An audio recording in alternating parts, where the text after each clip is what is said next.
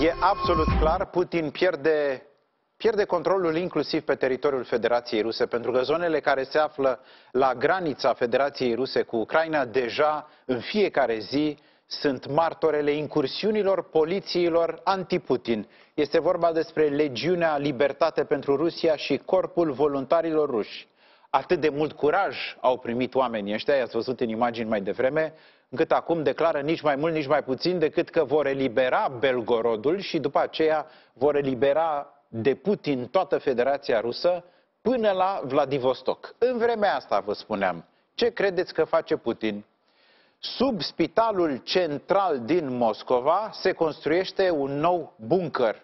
Este un adăpost antiatomic. Spitalul, spitalul clinic central din Moscova este un fel de Elias în Rusia, adică este spitalul care se ocupă de uh, suspuși, de politicieni, de oameni importanți ai țării.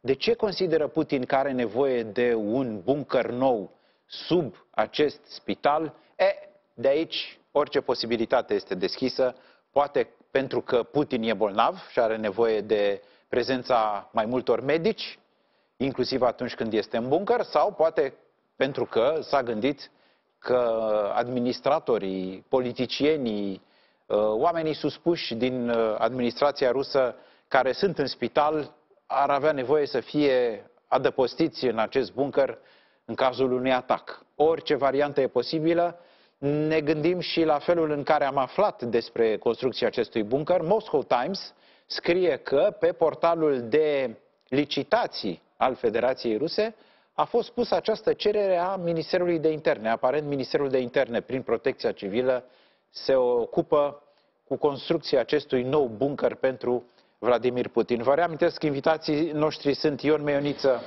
Emanuel Cernat, Cristian Pârvulescu și ni se alătură Virgil Chițac, este amiral în rezervă. Bună seara, ne auzim! Bună seara! Perfect, ne auzim, imediat stăm de vorbă. Emanuel Cernat, bunker nou pentru Putin. Se pare că Vladimir Putin are o apetență specială vis-a-vis -vis de buncăre. Uh, nu e, în mod cer, nu este primul. Uh, acum câteva luni a apăruseră schemele peste tot cu acel bunker de pe malul uh, Mării Negre, care tot așa, dintr-o eroare, proiectantul bunkerului, pentru a-și face reclamă, postase acele poze pe internet pentru a arăta ce alte tipuri de asemenea ansambluri mai construiește. Vladimir Putin, în mod cert, vrea în acest moment și are nevoie să-și asigure practic situația pentru o potențială escaladare a unor uh, situații nedorite de către el în Federația Rusă. Uh, se vorbește din ce în ce mai mult de neliniștile sociale care mocnesc în Rusia, chiar dacă nu se văd și e foarte greu să le vedem la acest moment, din ce în ce mai mult pe canalele de Telegram încep, încep să circule astfel de variante. Iar uh, fascinația vis-a-vis -vis de buncăre este una veche și care pentru foarte mulți dictatori a fost prezentă. Saddam Hussein avea un asemenea bunker, Gaddafi avea un asemenea bunker, uh, Hitler avea și el un bunker în care și-a găsit sfârșitul. Practic putem spune că de fapt Adolf Hitler a fost singurul care a beneficiat de acel bunker până la finalul vieții sale. Până la final. Ion Meioniță, de ce sub spital? Nu știu. Nu am nicio idee. Putem specula. Și o altă întrebare da. este, n-are destule? Care și unul la țară, are și unul la Moscova. Poate care, are... dar n-am, n-avem decât să ne întrebăm și noi. De ce, sau, vedeți, este probabil și această idee de a crea în rândurile populației teama că s-ar putea oricând să fie atacată Rusia. Pe această idee, pe această narațiune promovată de la început că este de fapt un război de apărare uh, și că toată țara e în pericol și atunci trebuie să mobilizeze așa cum a mobilizat populația, regimul în, timpul, uh, în timpurile cele mai grele, când URSS-ul uh, era invadat de, de, de naziști, de exemplu. Și atunci mobilizarea a fost extraordinară pentru apărarea patriei. Și atunci, întotdeauna, regimul a făcut această paralelă. deși lucrurile sunt pe dos pentru că acum Rusia a invadat o țară, nu a fost invadată Rusia de altă țară și duce un război atât de un an și patru luni de zile pentru a ocupa niște teritorii dintr-o țară vecină, suverană și recunoscută. Așa încât uh, probabil că populația trebuie ținută în această idee că este asediată, că este un pericol, că toată lumea are ceva, că se pregătește invadarea Rusiei.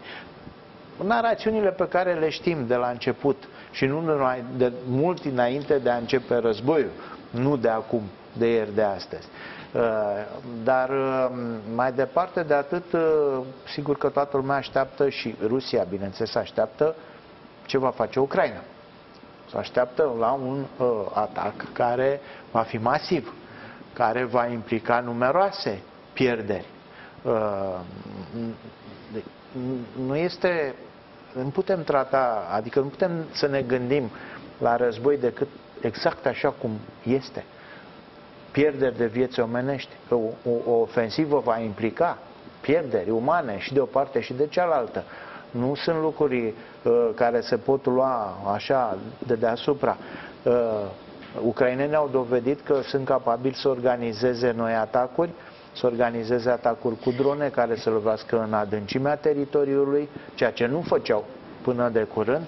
Uh, pot să organizeze și astfel de raiduri care pleacă Bineînțeles că neagă orice implicare, dar aceste raiduri, aceste miliții, aceste forțe care încearcă și ele să destabilizeze, să mențină lucrurile tulburi la frontierele uh, dintre Rusia și Ucraina, deci sunt multiple uh, uh, amenințări uh, cărora trebuie să le facă față pe front și în afara frontului. Și cred că toată lumea se gândește acum unde va izbi Ucraina, uh, ce forță va avea, și încearcă să pregătească populația și din acest punct de vedere pentru a reuși să mai mobilizeze alte sute de mii de oameni dacă este nevoie să fie aduși pe front în cazul în care ofensiva ucraineană se dezvoltă cu succes. Încă o dată pentru telespectatorii noștri, cum s-au întâmplat lucrurile, moment uh, definitoriu pentru schimbarea strategiei în război este atacul cu drone asupra Moscovei. După atacul cu drone asupra Moscovei, au venit mai multe explozii la rafinării, la Belgorod, la Krasnodar era rafinăria. Toate sunt aproape de granița cu Ucraina, granița Federației Ruse, de aici și decizia autorităților locale de a evacua pe copii. Ei bine, azi dimineața aceste atacuri au continuat. Se vorbește despre un atac cu artilerie la Belgorod, iar Legiunea Libertate pentru Rusia spune că a aruncat în aer mai multe depozite de armament și muniție. La rândul lor, Corpul Voluntarilor Ruși, într-un comunicat, ne anunță că împreună cu frații din Legiunea Libertate pentru Rusia, continuăm să demilitarizăm armata lui Putin. Sunt foarte puține informațiile, vă dați seama, rușii doar acuză. Rușii spun că uh, ucrainenii au omorât civili, că au lovit blocuri de locuințe. Mm, rușii nu vorbesc despre distrugerea unor depozite de armament și muniție. Pe de altă parte, foarte puține informații de la cele două miliții, mai degrabă se filmează, ați văzut filmulețele, nu sunt, nu știm cu certitudine, cu alte cuvinte, domnule amiral, ce se întâmplă acolo. Știm doar că se întâmplă ceva. Domnule Lipceanu, după atacul uh, insurgenților de acum 9 zile, despre care dumneavoastră ați vorbit, au urmat acele evenimente militare Uh, și Belgorod uh, și rafinăria aceea din sud de la Krasnodar și, bineînțeles, că trebuie să spunem și de atacul cu drone din, uh, din Moscova. Și acesta de evenimente marchează o nouă întărsătură a acestui război care, uitați-vă, că a pătruns și pe teritoriul Rusiei și îi afectează și pe ruși. Lucru pe care noi l-am spus în emisiunea noastră acum ceva timp. Reacția Moscovei ați văzut și noastră. Moscova spune așa că Rusia este victima, uh, sigur că e atât de uzată și de ridicolă această declarație, încât cred că și o parte a poporului rus, e adevărat, mică parte asta, a început să vadă că acest slogan este unul disperat și încearcă să explice marile erori strategice ale Rusiei din acest război, care au distrus pur și simplu anvergura și reputația globală. Ulterior ați văzut că rușii au replicat și au început să atace Chievul cu rachete, dar nu numai noaptea, chiar și ziua. A fost, a fost un atac de noapte și după aceea un atac de zi. Am văzut ieri cum un drum aflat la intersecția dintre Belarus, Ucraina și Rusia a fost bombardat, aruncat în aer, cel mai probabil de armata rusă, în contextul așteptatei contraofensive despre care tot vorbim ucrainene, tocmai pentru a îngreuna incursiuni de acel tip sau de acest tip despre care noi asta ați vorbit. Acum, ce vă mai pot spune este că analiza datelor primite din satelit în perioada 12-26 iunie a arătat că au fost detectate pe teritoriul Rusiei în spatele frontului, deci cumva pe teritoriul Rusiei, circa 907 de explozii, 907 explozii. Foarte probabil legate de război, de patru ori mai mult decât cu două săptămâni în, în urmă. Uh, și exploziile astea sunt distribuite oarecum continuu așa, din nord de la uh, Harkov până la Herson. Datele par să arate că aceste explozii sunt legate de atacul centrelor de comandă rusești și a depozitelor logistice, care se află evident în spatele frontului, și în același timp ucrainienii testează linia frontului pentru a găsi punctele slabe ale rușilor. Pentru că, într-adevăr, contraofensiva va fi, însă, așa cum spunea felmareșalul lui Hitler, Erwin Rommel, Uh, primele 24 de ore vor fi decisive. Surpriza este extrem de importantă în această contraofensivă.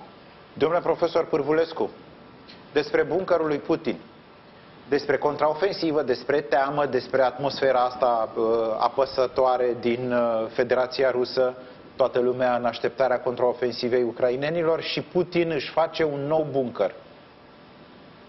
Mă rog, nu e foarte sigur că Putin își face un nou bunker. Se construiește un nou bunker sub spital. Că acel bunker e pentru Putin e o speculație. Ar putea să fie, ați spus-o și dumneavoastră, un bunker pentru, pentru, pe, pentru a-i uh, uh, sprijini pe medicii din uh, spital, pentru a le asigura protecție în cazul unui atac. Oricum, uh, efectul atacului cu uh, drone este evident Mie mi-aduce aminte de atacurile pe care forțele aliate le-au dat uh, mai întâi uh, forțele britanice împotriva Berlinului, apoi forțele americane împotriva Tokyo în al doilea război mondial. Ele erau, pe de o parte, adresate populației inamice civililor din Berlin și din Tokyo, pe de altă parte pentru încurajarea propriilor societăți care erau puțin deprimate de insuccesele militare. Cred că ceva de genul acesta s-a întâmplat. Nu cred că vorbim despre o schimbare crucială de tactică, ci de un avertisment că Ucraina a depășit complexele, că nu se mai limitează la acțiuni doar pe propriul teritoriu, că sfaturile sau uh, uh, diferitele discuții pe care le-au purtat cu aliații au o importanță fără, nu excesivă. Uh, folosesc aceste unități, miliții rusești, dar care pleacă de pe teritoriul ucrainian și care se coordonează cu armata ucrainiană pentru a nu fi acuzați că atacă prin intermediul armatei ucrainiene te teritoriul rusesc, dar fac parte din operațiunile care pregătesc contraofensiva.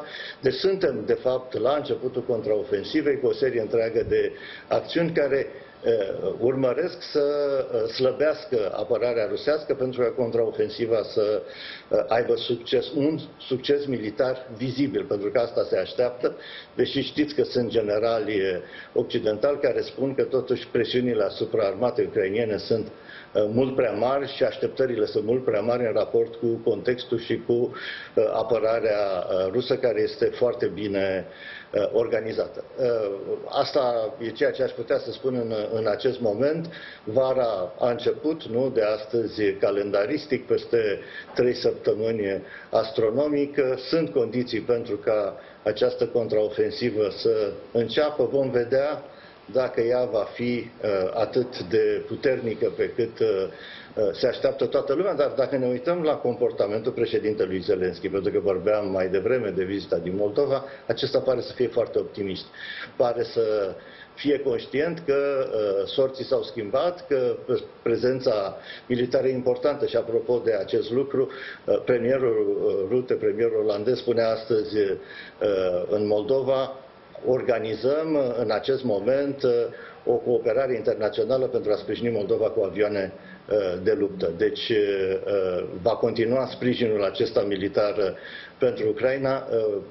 A fost foarte clar mesajul premierului olandez, nu mai puține, ci mai multe arme, nu mai puțin bani, ci mai mulți bani, vom continua să sprijinim uh, uh, Ucraina. E bine, uh, acest lucru contează foarte mult pentru a întări moralul soldaților ucrainieni care vor urma să atace pozițiile rusești săptămânile sau zilele următoare. E o postură neobișnuită pentru ruși, uh, dar pare să se întâmple în ultimele zile și aici avem nevoie de o explicație, domnule amiral, pentru că în fiecare dimineață primim acel briefing de la informațiile militare britanice și informațiile militare britanice observă, o observație foarte bună, că se face luna de când inițiativa a fost preluată de ucraineni, 100%. Rușii nu fac decât să aștepte. Ca și cum ne-am închipui ascunși în niște tranșee și vor să vadă ce vor face ucrainenii. Adăugăm la această așteptare, la această inacțiune, uh, dorința lui Putin de a minimaliza atacul cu drone de la Moscova, de exemplu. După aceea, atacurile astea de la Belgorod, de pe granița de est, uh, incursiunile miliților care le nervează pe Soloviov și care spune, domne, este in, in, inimaginabil cum intră în Federația Rusă niște indivizi care au tancuri, își fac niște fotografii și se duc înapoi în Ucraina. Și cum Rusia nu face nimic și lista continuă. Deci, domnule amiral, cum se face? De ce, de ce minimalizează atacurile? De ce nu fac nimic? De ce nu ripostează? Domnul Prelipceanu, fiecare parte vrea să o surprindă pe cealaltă în momentul ăsta. E clar că rușii sunt în defensivă, am spus în emisiunea noastră acum câtva timp că e, e evident și au făcut o, o apărare multistratificată, extrem de puternică, pentru a îngreuna cât mai mult o contraofensivă ucraineană pe care noi o așteptăm. Însă, să știți că și rușii încearcă să-i surprindă. Mie mi-este foarte teamă de un eșec al contraofensivei ucrainene. Pentru că eu nu cred că Putin a abandonat ideea de a ajunge cu armata lui până la Odessa.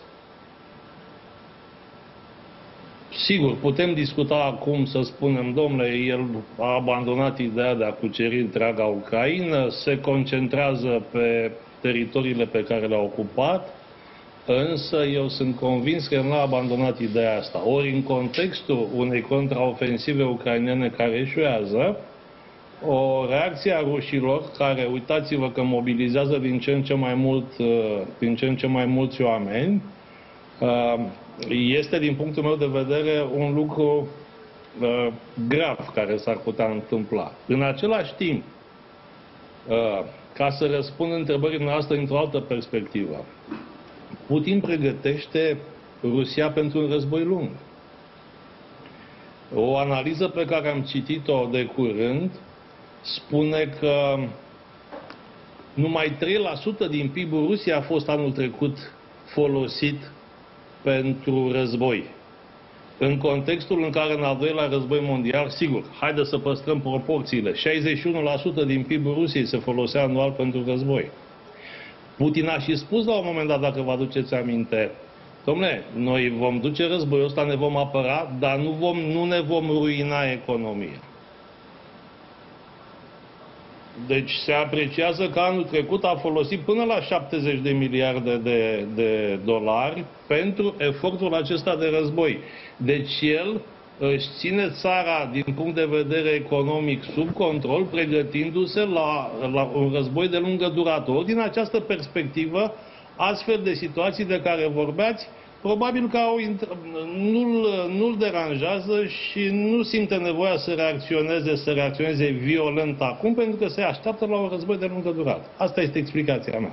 Și în măsura în care contează ce spune Prigojin, Uh, după ce ne-a spus că a câștigat Bahmutul și că așteaptă uh, armata rusă ca să preia pozițiile de la Bahmut, din nou face declarații publice, spune că până pe 5 iunie soldații lui se vor retrage, au nevoie de odihnă, după care se pregătesc, asta e foarte important, se pregătesc pentru noi operațiuni de luptă și de data asta va fi nevoie de Wagner pe teritoriul Federației Ruse.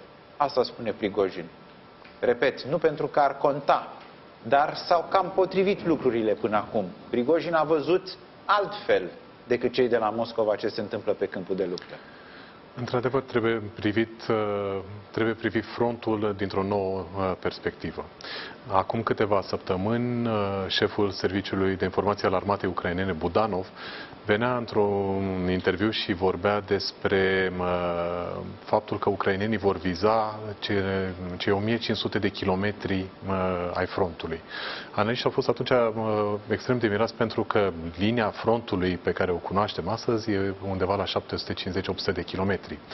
Dar dacă ne uităm ce s-a întâmplat uh, în săptămâna trecută și în această săptămână cu aceste atacuri, aceste incursiuni în zona Belgorodului și în zona Federației Ruse, de fapt, într-adevăr, putem vedea cum linia frontului, de fapt, s-a extins extrem de mult. Din acest punct de vedere, rușii sunt uh, nevoiți să-și întindă foarte mult trupele, pentru că ei le aveau concentrate în acea zona a frontului în care se apărau, așa cum spunea foarte bine domnul Amiral, își stratificaseră linie de apărare, dar acum se văd nevoiți să mute dintre aceste dispozitive și în uh, celelalte zone care erau oarecum neapărate. De aici și acea incursiune extrem de facilă a celor miliții în zona Belgorodului. Acest lucru nu și-l vor mai putea permite, pentru că semnalul pe care îl transmit către proprii cetățeni Uh, pe care Kremlinul îl transmite către proprii cetățeni e unul extrem de grav. Și de aici încep toate aceste voci. Prigojin, până la urmă, să ne uităm, e un personaj aparte, e un personaj care a început să capete valențe din ce în ce mai pronunțate de om politic, vizionar, uh, orice. Orice, el are o părere. Are o părere despre orice, organizează conferințe de presă organizează conferințe de presă în care răspunde cu privire la ce are el de gând. Dar să nu uităm faptul că el conduce până la urmă o trupă de mercenari care, conform legislației ruse, este ilegală. Deci, până la urmă, faptul că acest personaj a căpătat această amploare și s-a permis această vizibilitate crescută, reprezintă un semn mare de întrebare. Nu ne putem imagina că acest lucru ar fi fost posibil, de exemplu, pe vremea lui Stalin, pentru că tot Vladimir Putin se uită cu atâta tandrețe la modelul uh, stalinist. Nu s-ar fi întâmplat așa ceva. Acest lucru denotă faptul că ușor, ușor începe și Vladimir Putin, s-ar părea că începe să scape de sub control întreaga situație. Emmanuel Macron o comite din nou sau doar ne comunică o dilemă și spune așa. Negocierile cu Putin s-ar putea să aibă prioritate totuși în fața judecării lui pentru crime de război. Cu alte cuvinte, să obținem o pace printr-o negociere cu Putin sau să-l arestăm și să-l judecăm pentru crime de război. Ce alegeți? N-ar fi mai bine să negociem cu el o pace? După ce face la Bolboaca, face declarații foarte în linie cu așteptările, adică spune Putin a trezit NATO cu cel mai mare șoc electric. Rusia va rămâne Rusia numai în interiorul acelorași granițe, adică nu cu alte teritorii. Dar toată lumea este șoc.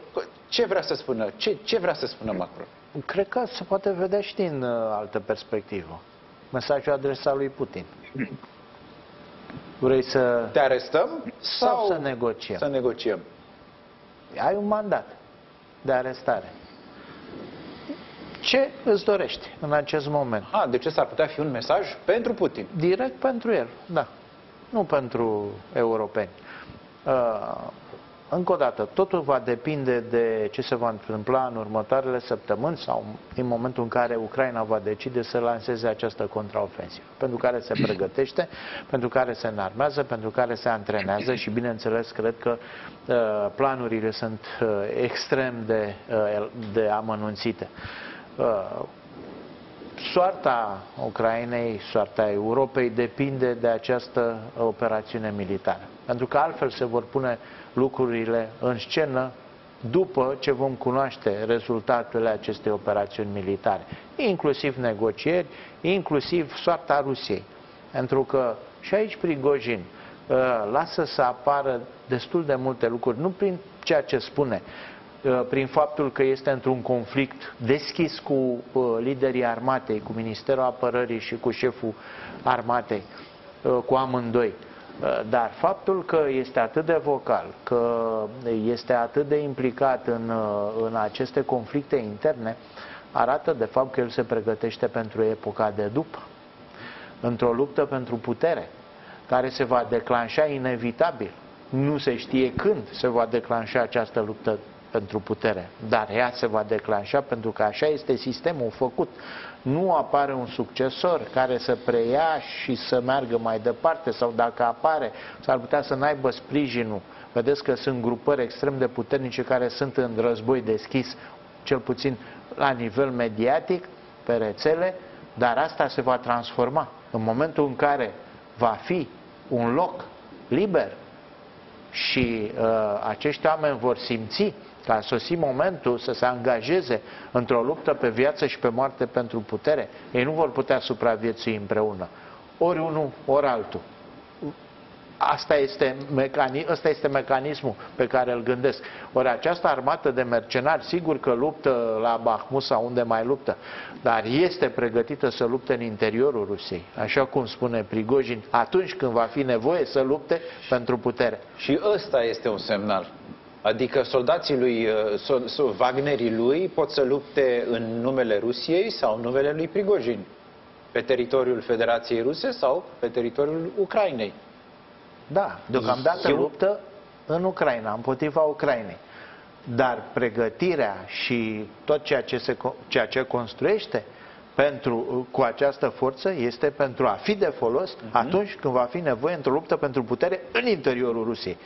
Extrem de grav, într-adevăr, pentru că în tradiția moștenirii lui Stalin, uh, violența era centralizată. Acum violența începe să fie descentralizată și asta va duce la conflict. Domnule profesor Pârvulescu, cum interpretați declarația lui Macron? În primul rând, contextul. A fost pusă la Bratislava, în contextul unei conferințe. Era spusă ca o ipoteză. S-ar putea să nu-l putem aresta pe Putin. Asta era ideea. Altfel spus, ar putea ca victoria să nu fie categorică, astfel încât să rezolvăm problema, să-l putem aresta, să-l putem deferi justiției. Nu spunea că nu trebuie să o facem, ci că este probabil, este posibil să nu se întâmple. Și atunci va trebui să negociem, la un moment sau la altul, cu Putin sau cu succesorul său. Uh, ca de obicei, uh, declarațiile lui Emmanuel Macron sunt scoase din context și sunt transformate în uh, declarații paradoxale. În realitate nu e nimic paradoxal în ceea ce a spus, iar ceea ce a declarat astăzi în Moldova este linia oficială a Republicii Franceze și a președintelui francez. Nu trebuie să uitați, apropo de crimele de război, că Franța contribuie cu procurori care fac anchete pe teritoriul Ucrainei pentru a uh, instrumenta uh, acele cazuri de crime împotriva, crime de război și crime împotriva umanității pe care armata rusă le-a uh, realizat. Deci nu cred că este o reîntoarcere, nici înainte nu credeam că e vorba de o poziție prorusă a Franței și v-am spus și eu repet, uh, Emmanuel Macron nu este un naiv. Emmanuel Macron știe că împotriva sa Vladimir Putin a folosit coloana a cincea, a folosit uh, războiul hibrid, a încercat să împiedice în mai multe rânduri alegerea sa ca președinte și în 2017 și anul trecut. Apropo, astăzi la Paris a fost dat publicității un raport parlamentar referitor la relațiile dintre RN, dintre uh, adunarea națională, fostul front național și uh, uh, Rusia, uh, în care se evidențiază faptul că aceasta este o parte a coloanei a cincea. Deci nu este un naiv.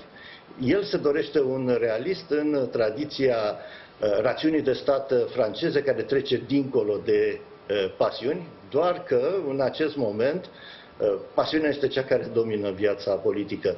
A, a sprijinit și sprijină în mod real Ucraina și asta este ceea ce contează, iar declarațiile de astăzi privind NATO, privind trezirea NATO, cred că sunt cât se poate de realiste și uh, se înscriu în contextul sprijinirii Ucrainei. Vă mulțumesc mult, domnilor, vă mulțumesc pentru finalul emisiunii din seara asta. Am lăsat câteva minute bune pentru un avertisment. Este un manifest semnat de 350 de oameni care se pricep și care spun că inteligența artificială este o amenințare existențială pentru omenire ca bomba nucleară sau ca o pandemie. Manifestul, vă spuneam, este semnat de 350 de oameni, este vorba despre directori de companii care se ocupă cu inteligența artificială, care dezvoltă inteligența artificială, experți, profesori, pe listă îi găsim inclusiv pe nașii inteligenței artificiale, sunt doi oameni care, pentru cei care lucrează în industria IT, uh, numele lor sunt foarte importante, Jeffrey Hinton și Joshua Bengio sunt considerați, încă o dată vă spun, nașii inteligenței artificiale. Sunt mai multe întrebări care se nasc văzând acest uh, manifest. Prima dintre ele este ce ar putea să facă inteligența artificială? De ce este periculoasă? Care este riscul? A doua întrebare este cine și ce ar trebui să facă pentru a elimina aceste riscuri, dincolo de faptul că, evident, oamenii vor să fim conștienți de acest pericol. Și i-am propus fizicianului Cristian Presură să vină cu noi în această seară. Suntem curioși să-i aflăm părerea. Bună seara, Cristian Presură! Bună seara! Prima întrebare. De ce e periculos ca o mașină să ia decizii? A, sunt în esență trei motive. O să încep cu primul, care este în felul următor. Mașina nu e construită bine. Și dacă nu este construită bine, ia decizii greșite și avem un accident. În cazul inteligenței artificiale vedem asta, ceea ce se întâmplă cu ChatGPT, pentru că de aici a început totul, adeseori primim răspunsuri greșite. Al doilea lucru este ca mașina să fie folosită rău intenționat. Deci ea funcționează bine, dar este folosită pe post de tank. În cazul de față, că vorbim de inteligența artificială, inteligența artificială, așa cum e construită ea acum, bine, e de fapt machine learning, dar noi spunem inteligența artificială, să spunem acest chat GPT, este atât de bun încât atunci când vorbim cu el, aproape că ne păcălește. Credem că vorbim cu un om inteligent care ne dă răspunsuri. Ori această capacitate de a inteligenței artificiale de a se substitui omului poate fi folosită în defavoarea noastră. Deja este un avertisment că poate fi folosită la următoarele alegeri americane din America pentru a influența publicul, pentru că tu crezi că stai de vorbă cu cineva, cu un om pe internet, că îți răspunde, că tu îi răspunzi, când tu de fapt stai de vorbă cu un robot și nu-ți dai seama. Și a treia uh, posibilitate, care de fapt în cazul de față este foarte îndepărtată, este ca mașina să meargă singură tu să nu mai ai controlul asupra ei. Dar cred că în cazul de față, în cazul de față vorbim de inteligență artificială, GPT, nu suntem acolo.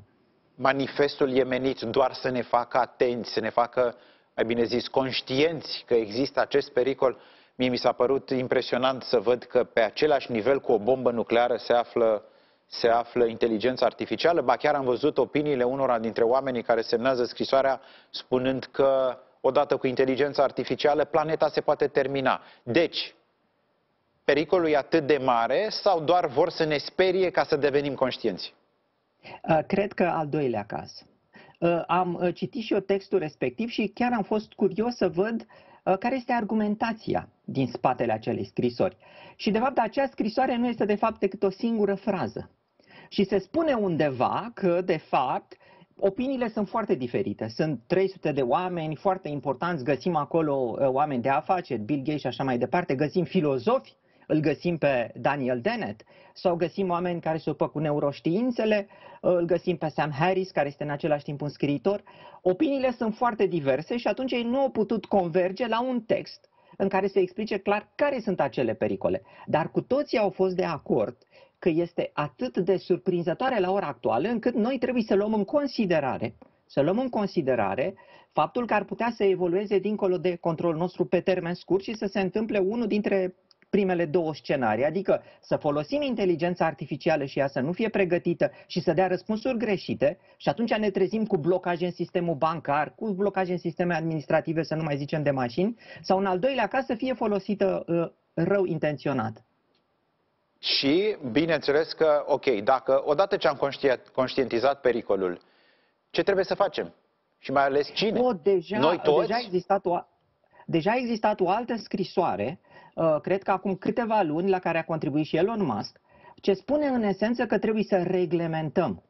Trebuie să reglementăm această piață. Tot așa cum avem uh, reglementare pentru medicamente. Nu orice medicamente, nu, nu orice companie poate face medicamente. Doar anumite companii, bineînțeles, care cunosc tehnologia, în așa fel încât medicamentele să fie safe, să, fie, să nu ne pună nou în pericol uh, sănătatea, să fie construite pentru ceea ce sunt construite. În același fel, spun ei, companiile care construiesc inteligența artificială și au voie să o pună pe piață, da? acele companii trebuie să primească o licență din partea guvernelor. Și acea licență să fie dată cu mare atenție, în așa fel încât acea, acel soft de inteligență artificială ce există pe piață să se ridice la standardele de calitate cerute de guvern.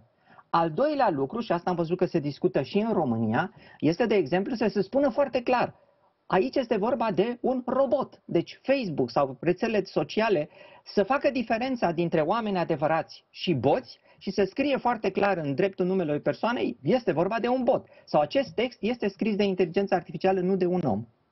Raportarea la rețelele sociale este foarte importantă pentru că e primul lucru care mi-a venit în minte după ce am citit această scrisoare, pentru că în cazul rețelelor sociale uh, uh, povestea a fost scăpată de sub control. Și de fiecare dată când au fost audierile din Congresul American sau din Parlamentul European, oamenii din industrie, chiar oameni din industrie au spus trebuie reglementat, statul trebuie să intervină, nu lăsată această libertate. Cu alte cuvinte, administrația a pierdut cursa.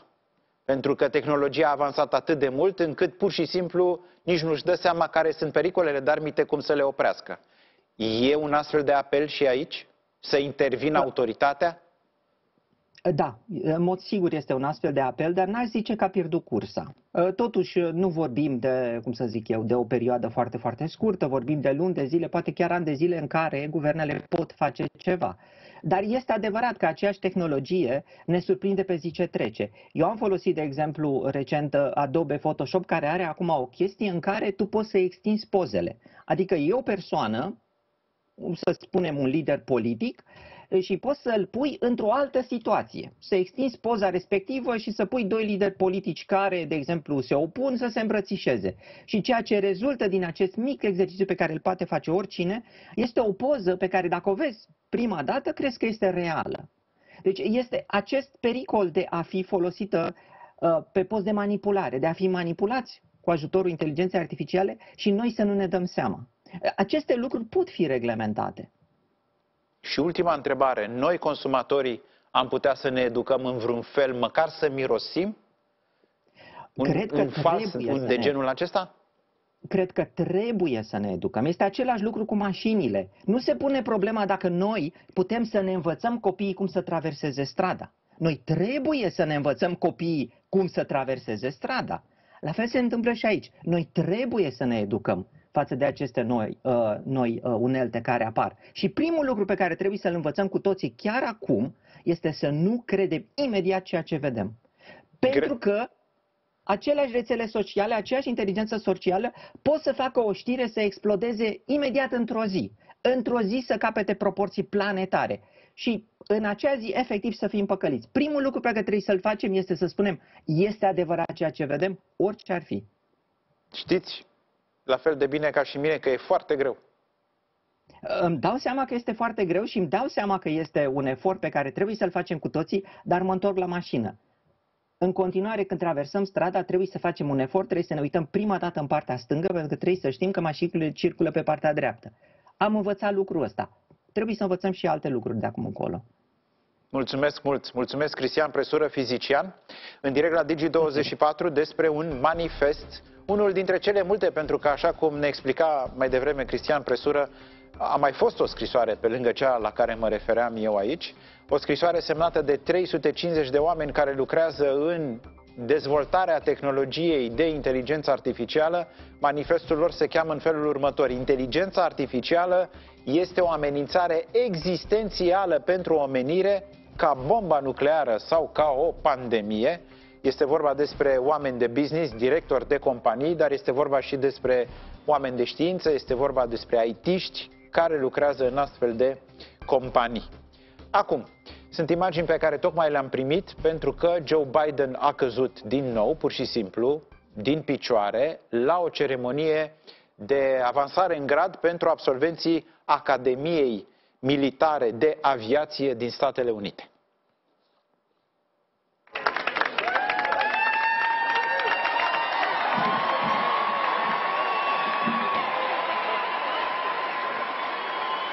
E clar că s-a împiedicat. Asta am văzut în imagini și la fel de clar este, a, și arată. Arată probabil că era un prag, un obstacol, ceva pe scenă. Revedem momentul și detaliile vor veni imediat la știrile serii cu Oana Zanfir, când Oana vă va explica și cum stau lucrurile cu o profesoară grevistă din România care a fost hărțuită online, iar reacția ei va fi imediat exclusiv la Digi24. Seară bună!